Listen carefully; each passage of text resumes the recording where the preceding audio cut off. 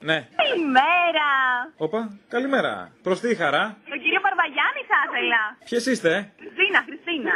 Και οι άλλοι; Λοιπόν, εδώ είναι η Χριστίνα, εδώ είναι η Τζέννη και η Ελένη. Ηλικίες; 16, 15-16. Κλεισμένα 16. Ναι!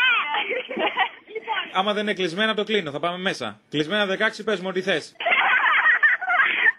Εδώ οι δύο είναι οι φανατικές. Εγώ απλά ακούω αυτά που μου λένε.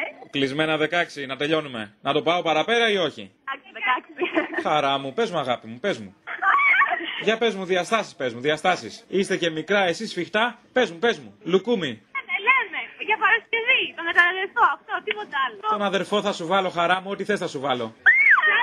Ευχαριστώ. Θα ξαναφέρω Φρέσκο. και αύριο. Και αύριο να πάρεις και μεθαύριο, θες να σου δώσω και το άλλο του σπιτιού. Κλεισμένα 16, δεν είπες; Άμα είσαι κλεισμένα 16, να συναντηθούμε και μετά την εκπομπή. Για παραγγελίε δηλαδή, όχι τίποτα άλλο. Μην παρεξηγηθώ τώρα, μας πούνε και λιγούρια βεβαίως.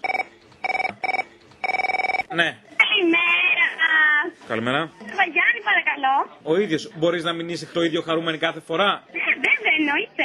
Δεν μπορείς να είσαι ήμο την επόμενη; Μια στεναχώρια, να έχεις μια θλίψη στη φωνή, κάτι. Δεν μπορώ τόση χαρά, με αποδιοργανώνει. Δευτέρα, αρχή της εβδομάδας, όσο να είναι, εντάξει, δεν μπορούμε να πετάμε για τη χαρά μα. Αυτό λέω, μωρέ. Αν μπορούμε όλη τη βδομάδα να το πάμε έτσι, μια στεναχώρια να υπάρχει και χαρά, γιατί να έχεις χαρά; Δηλαδή μόνο ότι τον ήπια η ΑΕΚ, τίποτα άλλο. Κύριε Βαρβαγιάννη, ένα παράπονο. Τι, Δεν μας βάλατε την παραγγελιά και στεναχωρηθήκαμε. τι, τι, τι, τι κάναμε; Δεν μα τη βάλατε την παραγγελιά και στεναχωρηθήκαμε.